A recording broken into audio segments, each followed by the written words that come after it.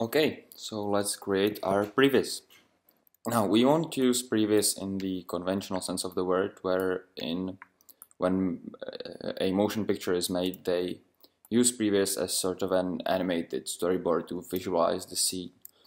But we will use previs to decide what camera angles are we going to use when the exact cuts will be made so we don't have to render anything extra we won't we won't um, use.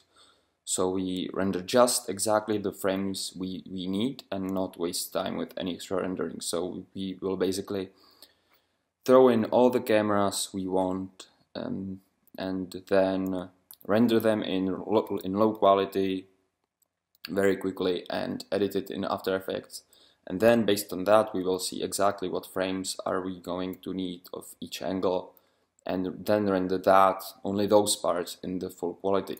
So we have our scene and we'll just start adding cameras. So the first camera let's just zero this out in here. Let's go into the camera and we will first set up our basically our main wide establishing shot. Let's let's put it on the side like this. Perhaps change the focal length to 50 we shouldn't use um, very wide focal lengths because this is somewhat of a of a macro animation. So uh, macro lenses are usually longer than so we, we won't use any wide, wide angles. we will use the standard 50 for our wide angle and maybe like 100, 200 for our close-ups. So let's put the camera here. We also need to tilt it a little bit. You should never have a have something uh, in the in the composition. It shouldn't be perfect. That is that helps to sell the realism to the little imperfections. So let's just tilt this. Ah, wrong. Tilt this just a little bit. Put it up. Maybe a little further. Well let's watch. Yeah I think this is good.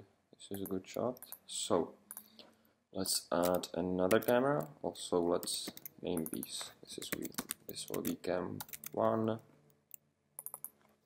cam 2 am I even recording yeah I am. Good. So let's go into the second camera and this will be our close-up. So let's change it to maybe like a hundred.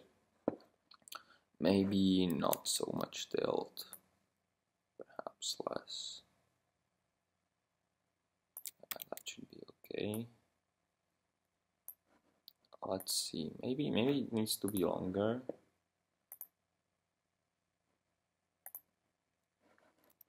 let's move it more to the side so we don't see the base just the shards. And I want to see the bullet in this shot for a longer time. Uh, this this the bullet is moving too fast but it's there. And this is a good shot. I like I like how the how the shards move in here. So this is good. Let's add another one like for example another wide angle. So let's change back to 50 you know what, let's start from the first camera. So let's just copy the first camera, call this cam 3.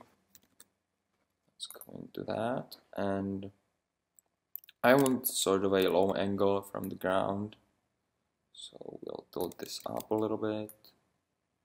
Go down. Oh, this is, this is too much. Too much. Let's see.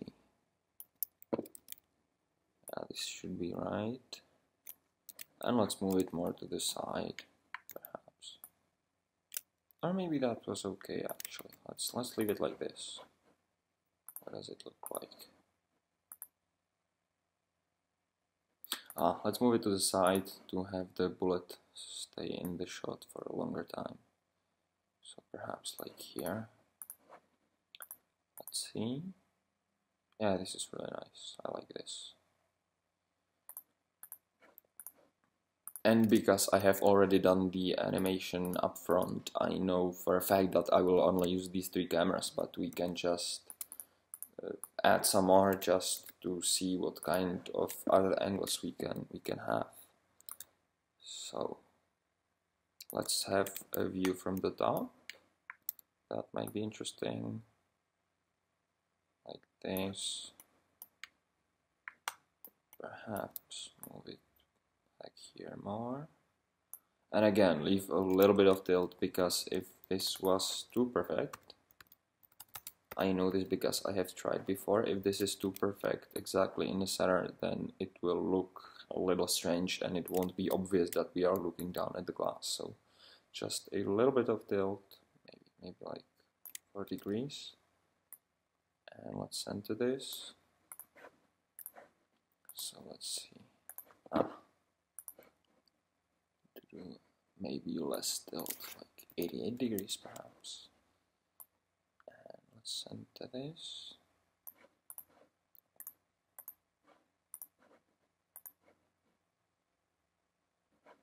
yeah let's move it more to the side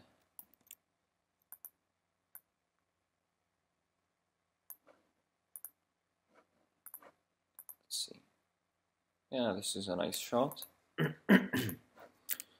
we could technically have some shots looking which way? Let's change this by 90 degrees. We could have some shots looking this way but the problem there is first we will shoot our camera with the bullet and second we would need to create more backdrop. But that, that, that could be pretty easy just, just when we were creating and we were creating the box in the beginning. When I showed you the version of creating the backdrop by creating the box it, we would just need to delete one less side. So that could be easy. But let's see what this shot looks like anyway this is not you know what? This this might be interesting. This might be interesting. But let's put a put a longer focal length 100 move it way further back. Move it down.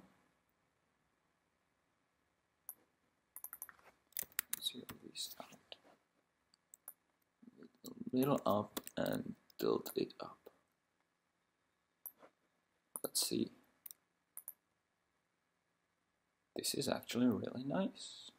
So let's just create the backdrop just in case